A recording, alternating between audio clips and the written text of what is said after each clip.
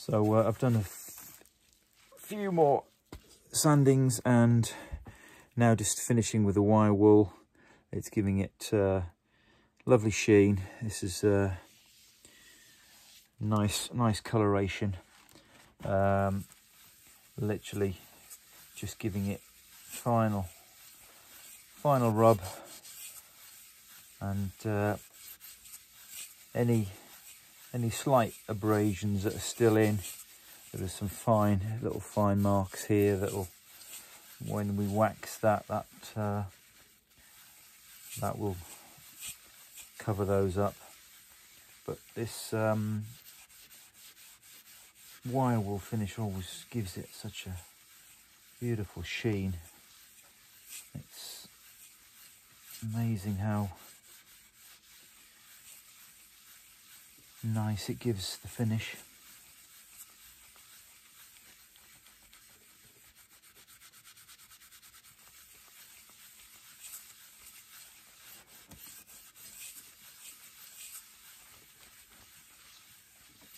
That's it, that's it, that's, that's probably as good as it's going to get. Can't get much better. It's like glass. That's, that's this, the feel. I mean, it's literally as smooth as it can be.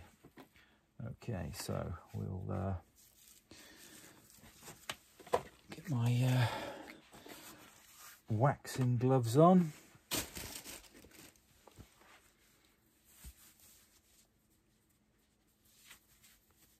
Holes included.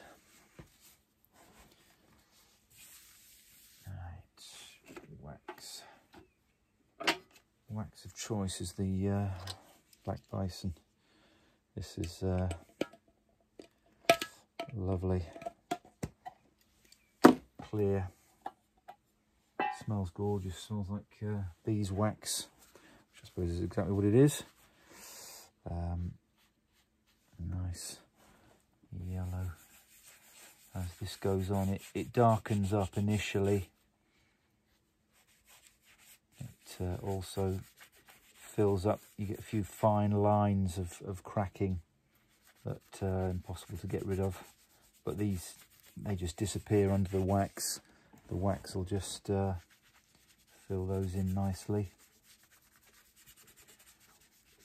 What I normally do with this is uh, give it a couple of, give it a coating, let it dry, polish it, and then give it a another final coating.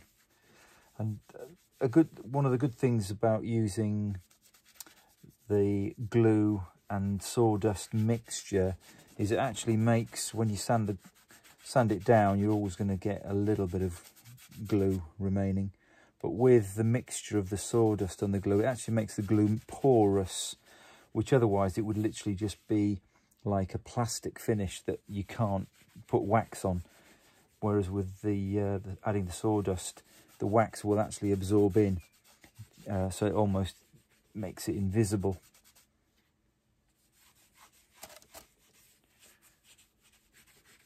That's beautiful. A couple of small minor abrasions there they'll just cover up nicely. That's beautiful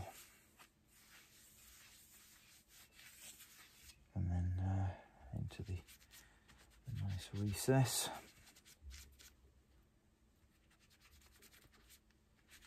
Again, this has been this is quite smooth.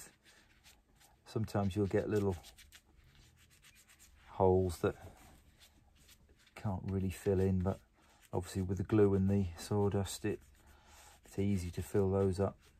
And then again, it will the wax absorbs in really nicely. Okay, first first coating.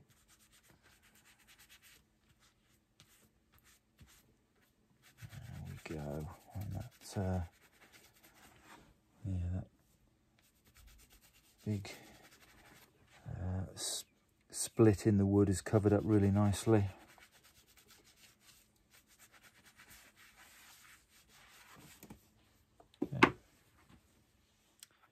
So just finishing the final polishing.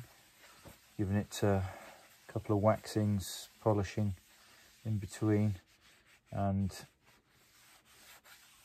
a little bit of extra sanding at one point just to give it that extra fine finish any blemishes wanted to remove uh, so basically there we go so we've got the uh, the nice sheen all across the surface and as you can see the uh, we've covered up. There's the crack that that was covered and down the side obviously we've made it almost invisible.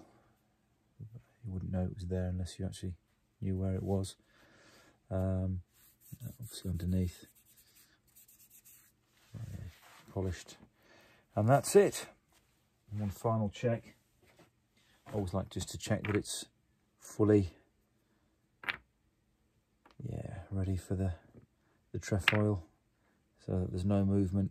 Yeah that will be perfect